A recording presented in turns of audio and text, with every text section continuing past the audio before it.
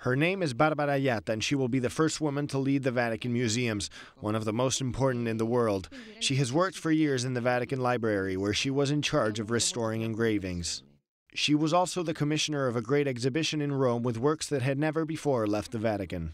Forse la cosa più Maybe the most important is the Bodmer Papyrus 1415, that is the first known transcript of the Gospel, which dates from the end of the second century to beginnings of the third.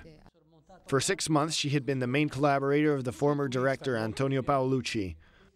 After January 1st, this Roman scholar will be in charge of the third most visited museum in the world, after the Louvre in Paris and the Metropolitan Museum in New York.